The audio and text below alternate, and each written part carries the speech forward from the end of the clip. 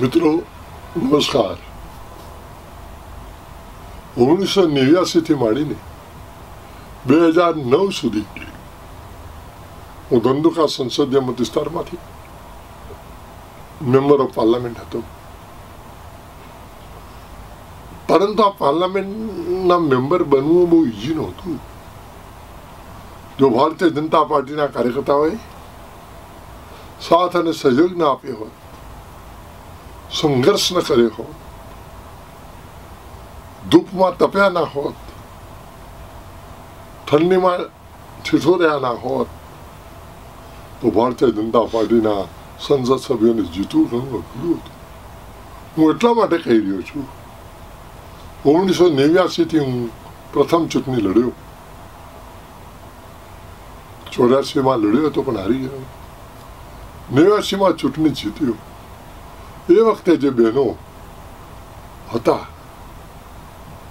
એમાં અલકાબેન મોદી બધાના નામ તો નહીં લઈ શકું હું લિસ્ટમાં અમને બતાવીશ આ બધા બહેનો રાત દિવસ સાથે કરતા રાત દિવસ મહેનત કરતા ઘર બાર છોડીને ધોળકા હોય ધંધુકા હોય રાણપુર હોય બરવાળા હોય કે વિરંગામ હોય માંડલ હોય કટોસણ હોય દરેક જગ્યાએ ફરતા પોતાના નાના નાના બાળકોને ઘરે મૂકીને ભારતીય જનતા પાર્ટીને વિજયી બનાવવા માટે ભારતીય જનતા પાર્ટીનો ઝંડો લહેરાવવા માટે ભારતીય જનતા પાર્ટીને પ્રસ્થાપિત કરવા માટે માનીવાર અટલ બિહારી વાજપેયીજી નવાણજીને સત્તા સ્થાને લાવવા માટે રાત દિવસની મહેનત કરતા હતા એ વખતની બહેનોને હું જેટલા વંદન કરું એટલા ઓછા છે જેટલા વંદન કરું એટલા ઓછા છે બસ એમનું એક જ ધ્યેય હતું મારી પાર્ટી જીતી મારી પાર્ટી જીતી મારી પાર્ટી જીતી ત્યારે કોઈ હોદ્દા કોઈ સરકારી પદ મળવાના કોઈ ચાન્સીસ જ નહોતા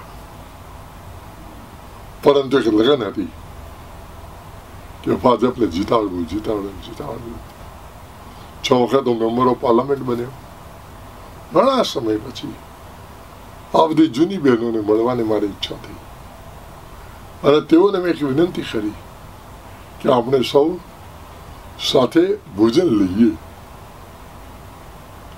મિટિંગમાં અમે ભેગા થયા.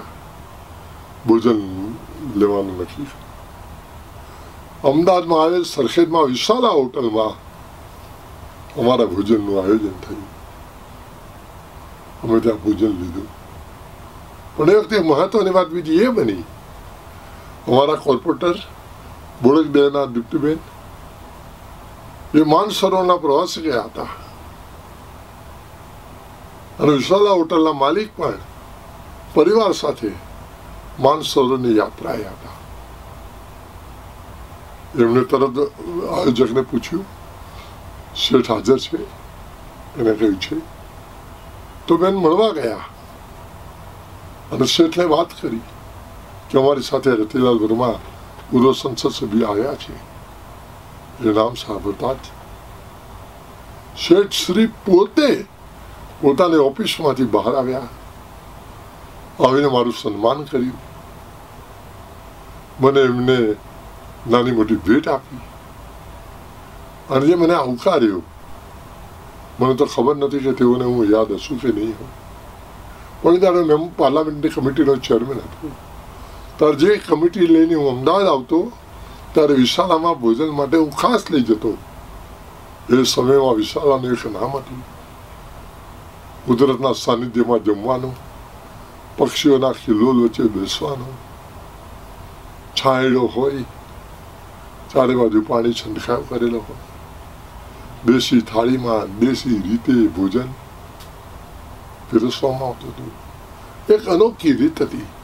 આજે પણ એ પરંપરા તેઓએ ચાલુ રાખી છે. એટલે મને ત્યાં ભોજન લેવાનો પણ અત્યંત આનંદ આવ્યો. અને આવેલી બધી બહેનોએ પણ મારું સારી રીતે સ્વાગત કર્યું, સન્માન કર્યું. અને મેં એમને કહ્યું કે તમારા બધાના પસીનાના કારણે આજે ગુજરાત હોય કે દિલ્હી હોય, ભારતીય જનતા પાર્ટી